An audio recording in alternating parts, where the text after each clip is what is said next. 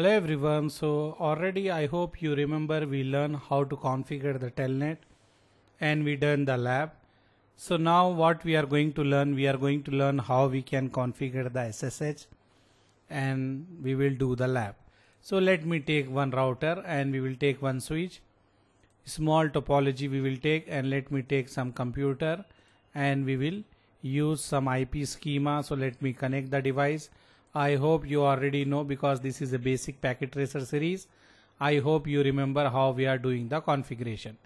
So if you see here, this one I will put the label as R1 and this one is a label as SW1. And now this one we can say this is a PC. I will assign some label here. Let me give me, let me give you the IP here as 1.1.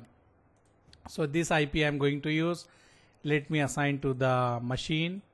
And gateway I will give the router IP I am going to give the uh, what we can say I'm going to give this IP to the router interface 192.168.1.3 and in the switch I'm going to give like 192.168 192.168.1.2 and here I'm going to give that 192.168.1.3 okay? And now if you see here we can do the configuration. So we need to enable the SSH okay so first of all let me go to the router and we will do the configuration of the router. This is a basic configuration we are doing here. So what we will do here if you see this one I will write here no. Okay and then we can write enable then config t and host name. This is the basic configuration we already learned. Okay so I am doing very fast that is just change the name of the router and we need to assign the IP. We are using the interface fast ethernet 0 by 0 so I am going to assign the IP IP address 192.168.1.3 and default subnet mask will be 255.255.255 and we will write no shut. After that we need to remember now we need to do the SSH configuration so first of all I will create the enable password. I will give enable password. I will give ABC and then we need to create the local user. So I am creating the local user. ABC and the password is ABC okay? This with this command I enable the password. Enable password I enable. With this command and the second command that that is username. I created one user with the username ABC and the password ABC after that what we can do we can do here.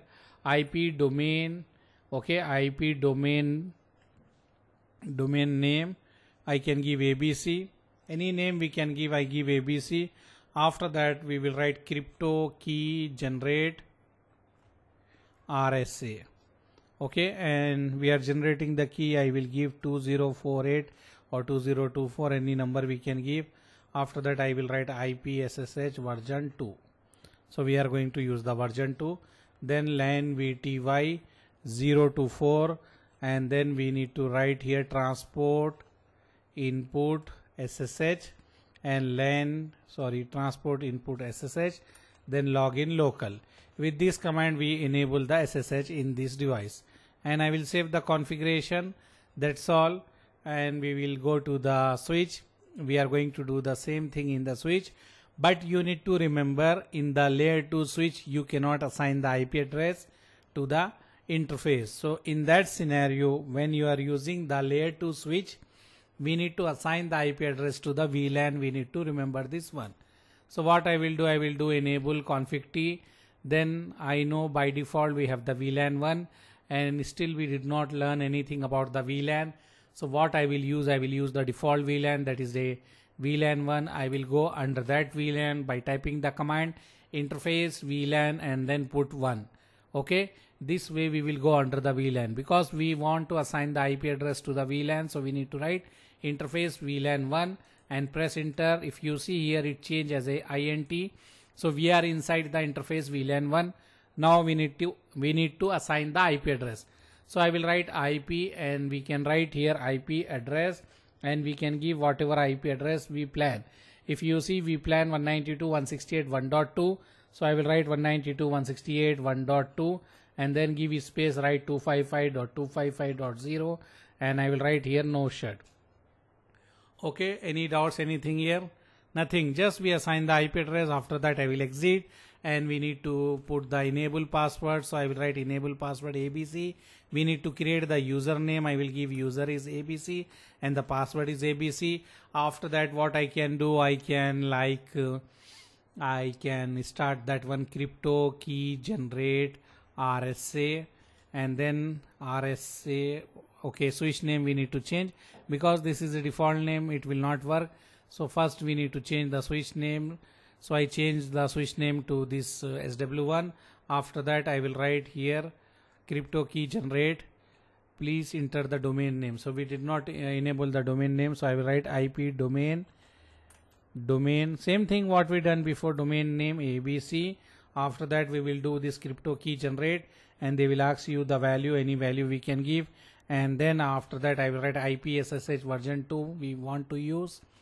And then LINE VTY 0 to 4 login local and also we need to write transport input SSH okay?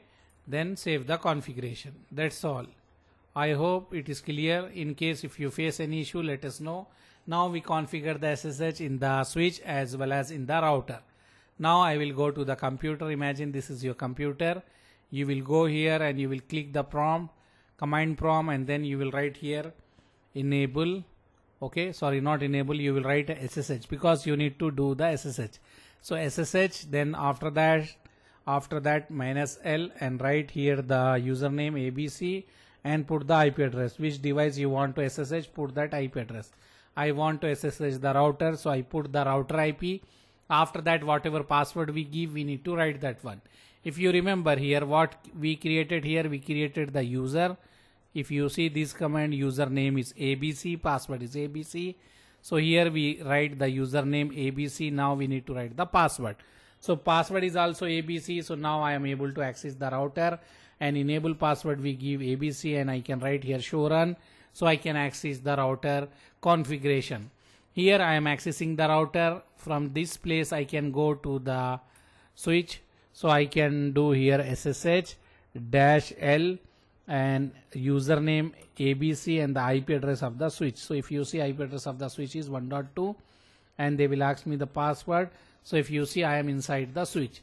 So what I done from here I go to the router from here I go here. Okay. So you can do this way also or exit this. Okay. Exit this and then directly you can do router or switch. If I want to access the switch I can write this way and then put the switch IP whatever the IP switch is having. 1.2 switch IP is 1.2 so click here type 1.2 and click here and put the password you are inside the switch. And you can put the enable password if you forget you need to remember that one and put password and write show IP interface brief you can see all the interface of the device. Okay? And this is this way you can easily access the device with the help of SSH. If you want to exit, you can exit. That's all. And you have one more method also. If you want to access the SSH, you can go down like this. And here you can see you have the telnet and SSH client. Click the here and here you need to select SSH, put the IP address of the device, this device. So I will put 192.168.1.2 and here what is the name? Name we give, username we give ABC. So put here ABC and connect so they will ask you the password give the password abc and put enable then abc then write show uh, version or whatever configuration you want to check you can check. If you want to exit write again exit. This session will close. And if you want to close write close. If you don't want to close write no. Okay? So this one we learn how we can access. If you want to access same way the router also click here and put here the router ip 192.168.1.3 and put here the name ABC and click connect.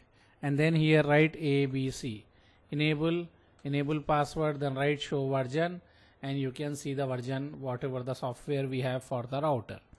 You know already when we write the show version you will get here the version. Version is uh, 15.1 here.